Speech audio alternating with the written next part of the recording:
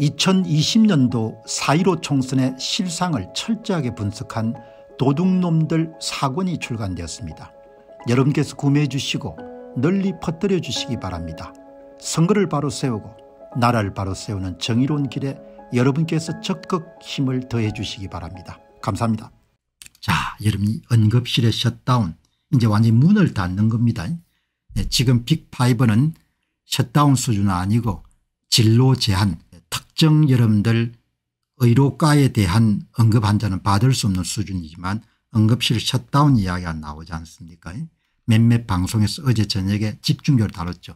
이화여대 목동병원이 여러분들 일주일에 이틀 정도 셧다운하는 방안을 매주 수요일 목요일 일주일 가운데 24시간 곱하기 2 48시간 이화여자대학교 응급실이 수요일하고 목요일에 전부 다 문을 닫는 겁니다. 이게 여러분들 부분 셧다운인 겁니다. 충북대가 그렇고 부분 셧다운이 지금 시작이 되는 겁니다. 그럼 9월 1일 충분히 관리 가능하다고 이렇게 이야기하는 겁니다. 아마 PA 간호사법을 통과했으니까 간호사분들을 동원해 가지고 뭐 운영하면 되지 않겠냐 뭐 그렇게 생각하는 모양이에요. 수목은 아프면 안 된다. 서울까지 들이닥친 붕괴 형실 JTBC가 어제 이름 저녁 뉴스에 다뤘네. 이하여대 목동병원 다음 주부터 응급실 셧다운 검토 서울 서남권 관할 권역 응급센터 의사 8명만 남아 이제 남궁인 소설가 활동하시면서 이제 응급의학과의 전문의로 활동하시는 분입니다. 365일 예. 24시간을 이제 풀로 커버를 해야 되는데 어느 정도 이제 인력이 계속 줄을다 보니까 24시간 당직표가 나올 수가 없는 겁니다. 이제 버티다 버티다가 부분 셧다운에 들어가는 겁니다. 뭐 이렇게 될 줄 알았습니다. 왜 며칠 전에 남궁인 교수가 올린 글을 보니까 이게 사람이 사는 게 아닌 겁니다. 이렇게 하다가 이 양반이 죽겠다. 그러니까 밑에 많은 분들이 남궁인 교수와 함께 본인 죽으면 안 되니까 제발 일 좀 좀 줄이라고 이렇게 한 내용이 있었거든요. 그래도 지금 모습은 건강하게 보이네요. 지금 이제 41살 정도 되시는데 거의 막 한계치까지 일을 하는 것 같아요. 지금 이런 상황인 겁니다. 이런 정도의 상황을 용산 대통령실에 있는 사람들은 모르겠죠. 왜냐하면 본인들의 의사 경험이 없으니까 대부분 문과 출신들일 테니까. 그리고 특히 이 정부의 대통령실 주변 사람들은 공감 능력이 너무 떨어지는 것 같아요. 대통령을 포함해 가지고 타인이 타인이 처한 상황에 대한 연민이라든지 타인이 처한 어려움에 대한 긍휼 타인의 위치에 대한 척은지심 같은 게 형편없는 수준 같아요. 저는 이번 사태를 처리하게 되면서 윤 대통령의 그 소위 심적 상태에 상당히 놀랐습니다. 윤 대통령한테는 자기 마누라밖에 없는 것 같아요. 자기 마누라 외에 다른 사람의 고통에 대해서 연민을 느끼거나 긍휼히 여기거나 척은지심이 거의 없는 것 같습니다. 박민수 차관도 마찬가지입니다. 그 사람들은 나이를 보게 되면 자식 연배가 의대생이고 윤 대통령 연배면 여러분들 윤 대통령이 정상적으로 결혼해서 자식을 낳았으면 지금 전문의들 여러분들 나이인 겁니다. 공감 능력이나 연민이나 긍휼이 전혀 없는 겁니다. 나는 이번에 굉장히 놀란 것 중에 하나 그겁니다.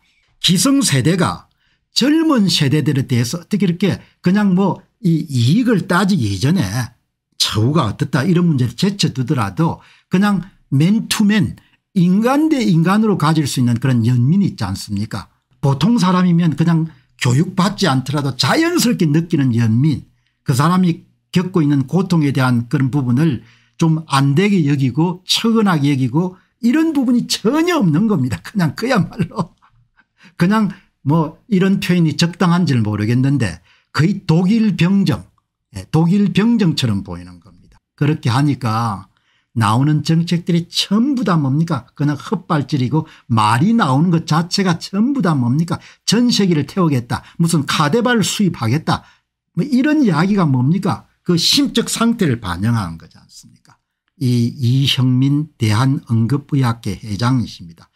가장 여러분들 최전선에서 지금 싸우고 있는 사람이죠.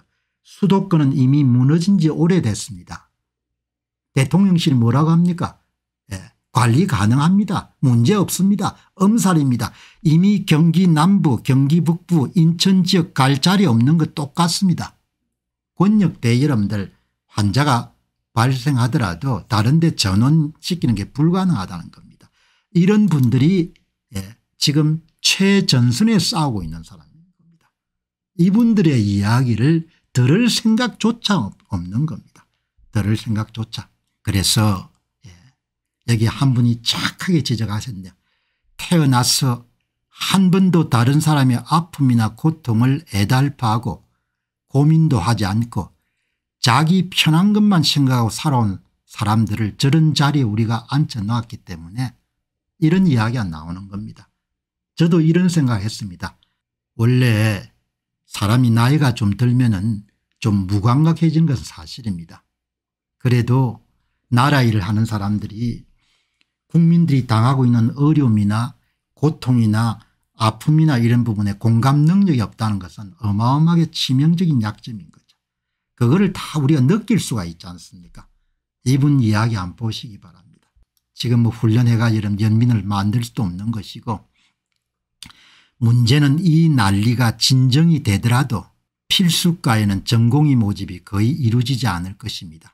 필수과가 돈을 못 벌고 힘들다는 것은 예전부터 다 알고 있었지만 그래도 생명을 살리겠다는 그런 바이탈 뽕에 취해서 지원자가 있긴 했는데 이번에 그 남은 자존심 자부심 사명감 이런 것을 정부와 언론 판사들 국민들이 다 깨부신 거죠.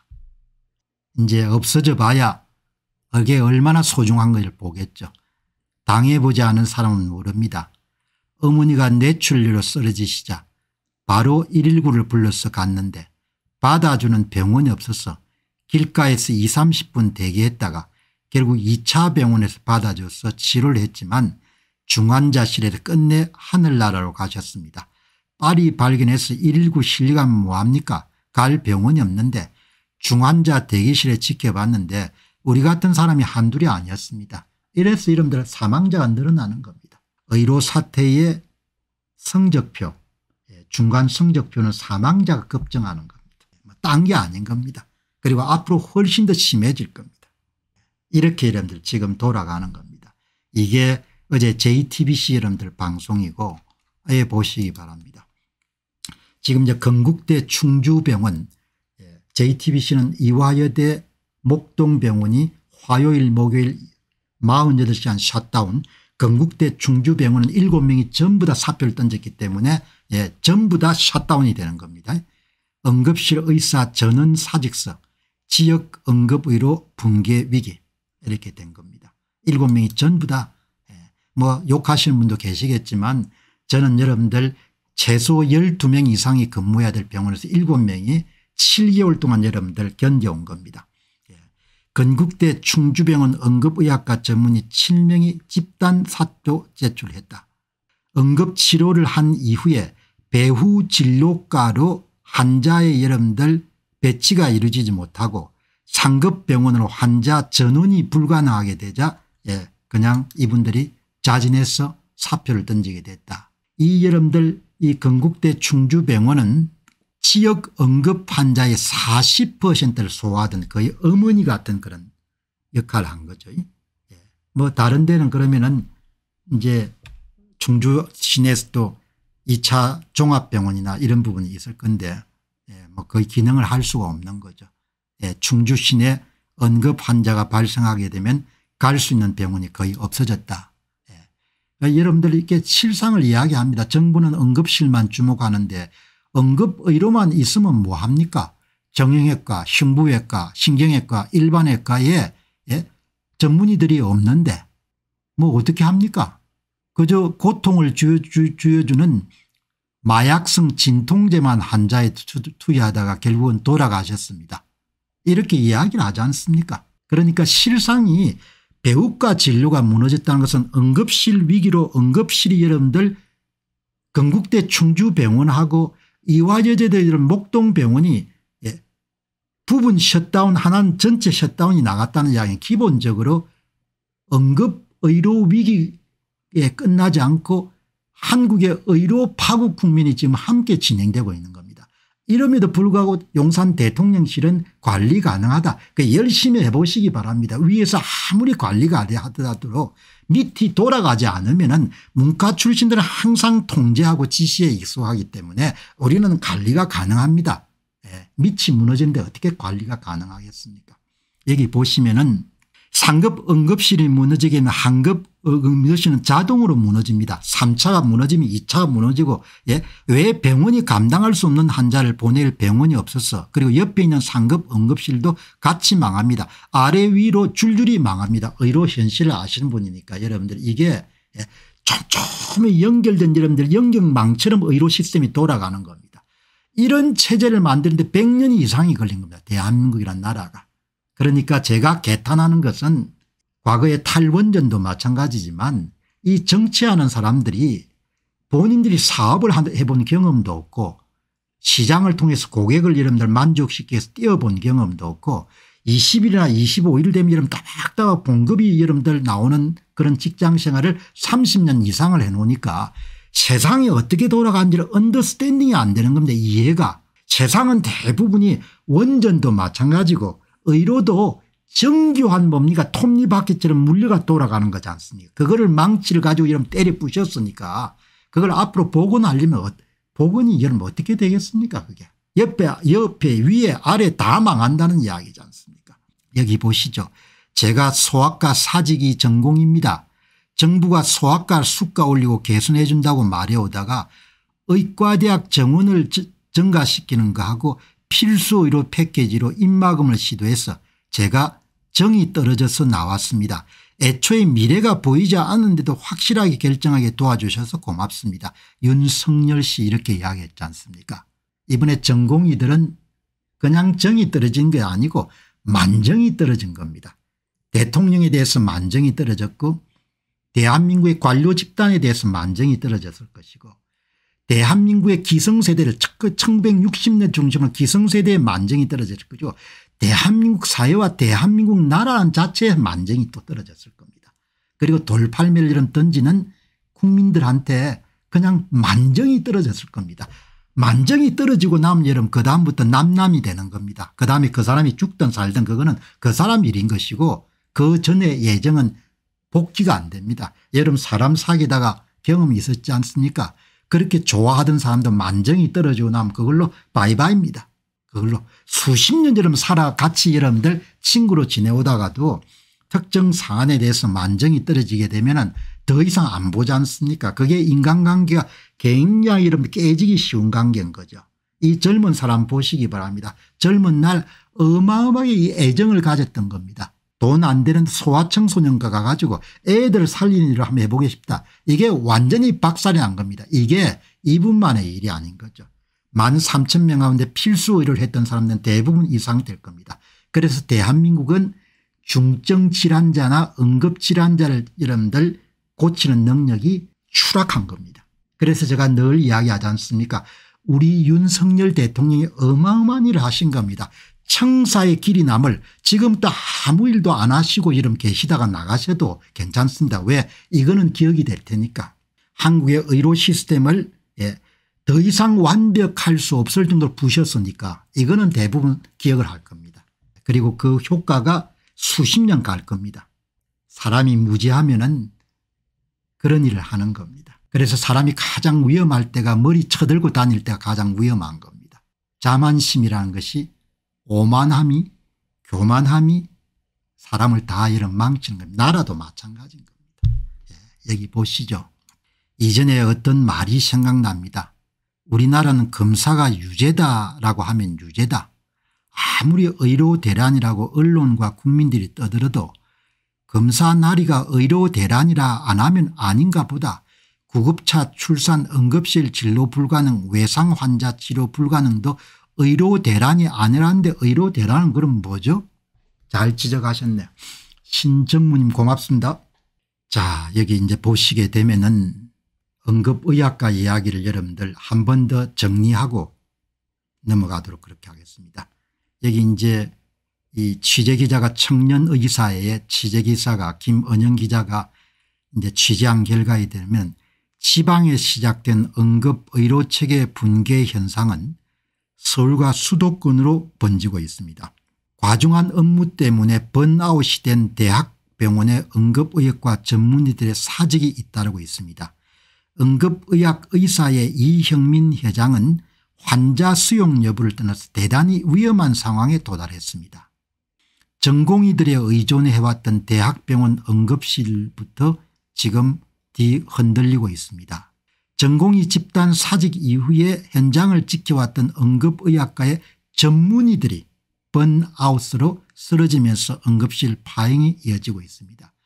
이것을 가장 생생하게 여러분들 세상에 알린 사람은 예, 이화여자대학교 목동병원의 응급실의 전문의로 있는 작가 남궁인 의사 남궁인 교수가 자기 생활을 쓴 걸 보게 되면 사람 이 사람이 이러다가 죽겠다는 생각이 들 정도가 되거든요. 41살인데 예, 몸이 완전히 가버린 것 같아요 제가. 제가 여러분들 참 선배로서 여러분들 너무나 걱정스러운 겁니다. 의정 갈등이 장기화되면서 응급의학과 전문의들의 사직이 잇따르고 있다. 과거 인턴과 전공의를 포함해 4, 5명으로 운영되는 응급실은 남아있는 응급의학과 전문의 한 명으로 버티고 있다. 이게 이화여대 목동의학과입니다. 응급실입니다. 응급실 내 병상 축소로 이어졌고 병상이 있더라도 전문의 부재로 환자를 받을 수 없는 현실이다. 예, 이렇게 이름 되고 대다수 응급의학과 전문의들은 사직을 지금 염두에 두기 시작했다. 응급의학과에 종사하고 있는 전문의 90%는 떠날 생각을 갖고 있다. 이제 뭐 우리 사회가 조국과 민족을 위해서 근무해달라 이렇게 할 수 없지 않습니까 대학병원 응급실 붕괴는 이제 시작 단계다. 이형민 회장은 응급실 붕괴는 서울과 수도권 예외는 아닙니다. 전국 수련병원 100곳 전공의를 받아들이는 병원이 100개인데 이곳에 근무하는 응급의학과 전문의 가운데 90% 이상은 떠날 생각을 하고 있습니다. 수도권 응급실에 혼자 근무하고 있던 이 회장은 환자가 10명에 15명만 되더라 제대로 받을 수가 없습니다. 환자 수용 여부를 떠나 정말 위험한 상황입니다.